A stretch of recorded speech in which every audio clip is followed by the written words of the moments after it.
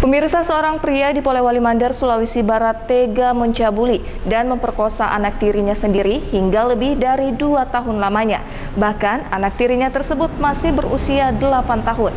Akibat perbuatan bejat tersangka, korban kini dirawat oleh keluarga. Untuk mempertanggungjawabkan perbuatannya, pelaku menjalani penahanan di Mapolres.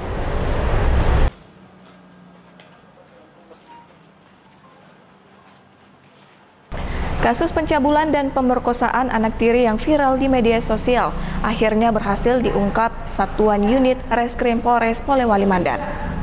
Pelaku berusia 40 tahun ini sebelumnya sempat kabur melarikan diri ke wilayah Mamuju usai aksi bejat terhadap anak tirinya sendiri diketahui warga.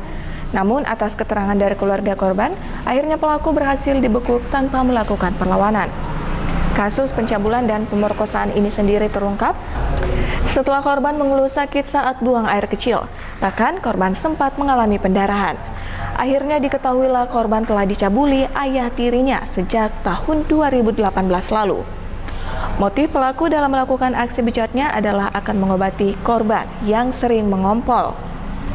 Ironisnya, pelaku justru mencabuli korban berkali-kali saat rumah dalam keadaan sepi, saat ibu korban yang berprofesi sebagai pedagang atau berjualan di pasar. Korban juga diancam akan dibunuh jika melaporkan kejadian tersebut pada orang lain.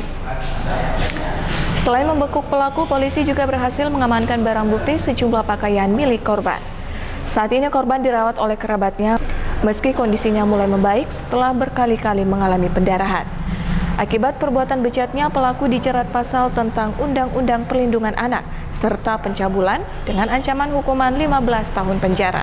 Dari Polewali Mandar, Husair Zainal, iNews melaporkan.